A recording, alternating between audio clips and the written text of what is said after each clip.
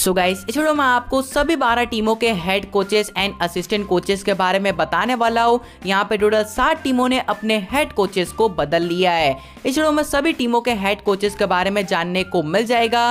Video बहुत ही interesting होने वाला है वीडियो को। एंड तक ज़रूर देखेगा सो गाइस बिना देरी किए एक और नई वीडियो को शुरू करते हैं। तो लो यहाँ पे स्टार्ट करते हैं। सबसे पहले बेंगलुरु बुल्स से। तो यहाँ पे बेंगलुरु बुल्स की टीम के हेड कोच सीज़न नाइन में रणधीर सहरावत सर देखने को मिल जाएँगे। बेंगलुरु बुल्स की टीम एकमात्र ऐसी टीम है जिन्होंने अभी तक अपना हेड कोच नहीं बदला है। बेंगलोर की टीम के हेड कोच इस सीज़न भी रणधीर सहरावत सर रहने वाले असिस्टेंट कोच अभी तक रिवील नहीं हुआ है। अब यहाँ पे पटना पायरेट्स की बात करते हो तो यहाँ पे पटना पायरेट्स सीज़न नाइन में नए कोच के साथ जाने वाली है। रवि शेट्टी सर देखने को मिल जाएँगे पटना पायरेट्स के head coach and assistant coach अभी तक अनाउंस नहीं हुआ है। अब यहाँ पे पुनडी पल्टन की बात करते हो तो यहाँ पे पुनडी पल्टन की टीम ने भी एक मंथ पहले ही अपना नया हेड कोच अनाउंस किया था, जो यहाँ पे बीसी रमेश सर थे।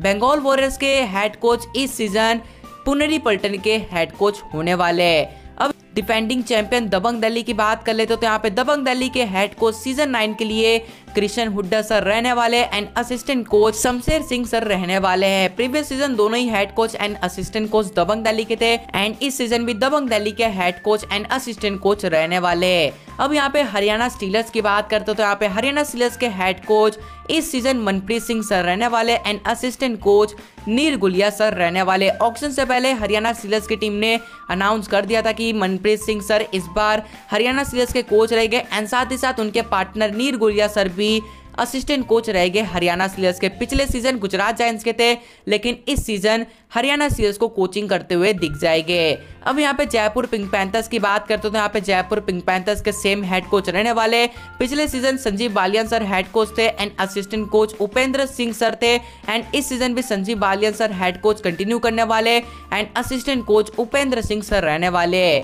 अब यहाँ पे गुजरात जायंट्स की बात करते हैं। ऑक्शन से पहले गुजरात जायंट्स की टीम ने सभी कबड्डी फैंस को शॉक कर दिया था बिकॉज़ राम मेहर सिंह सर इस बार हमें गुजरात जायंट्स के हेड कोच के तौर पे देखने को मिल जाएँगे एंड वहीं पे assistant M V Sundaram sir देखने को मिल जाएँगे। दोनों ही डुओ यहाँ पे पटना पायरेट्स के लिए कोचिंग करते थे, लेकिन इस सीज़न हमें गुजरात जायंट्स के जर्सी में देखने को मिल जाएँगे।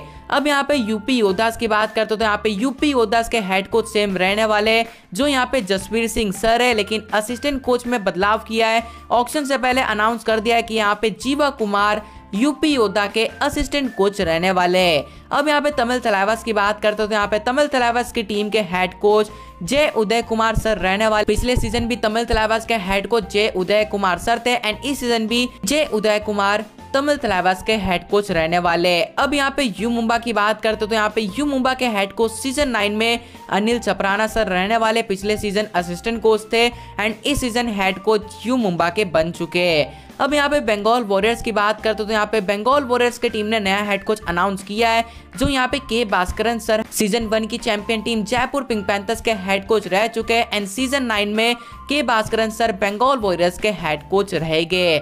अब यहाँ पे तेलुगु टाइटंस की बात करते तो शॉकिंगली तेलुगु टाइटंस की टीम ने अभी तक अपना हेड कोच अनाउंस नहीं किया है। ये अनाउंस कर दिया कि कौन से असिस्टेंट कोच रहने वाले मंजीत चिल्लर रहने वाले लेकिन जो हेड कोच है वो अभी तक अनाउंस नहीं किया एंड ऑप्शन टेबल पे भी आ, कोई भी ऐसा हेड कोच देखने को नहीं मिला है। तो मे भी अभी कुछ दिनों में रिवील कर दे। कुछ सरप्राइज़ हो सकता है जो कोई भी सोच नहीं सकता है वो यहाँ पे हेड कोच तेलुगु टाइटन्स का बन जाए। तो बाकी ग्यारह टीमों के हेड कोचेस बता दिए। अभी भी तेलुगु टाइटन्स की टीम ने अपना हेड कोच अनाउंस नहीं किया एंड छह टीमों का असिस्टेंट कोच भी बता दिया है। बाकी के जो छह टीम्स के असिस्टेंट कोच है, उनका अभी फ़िलहाल कुछ भी अता पता नहीं है। जैसे अनाउंस हो जाता है, मैं आपको टेलीग्राम पे इन्फॉर्म कर देने वाला हूँ। लिंक आपको डिस्क्रिप्शन में मिल जाएगा। बिकॉज़ टेलीग्राम पे आपको पीकेएल के लेटेस्ट अपडेट मिल जाएगी।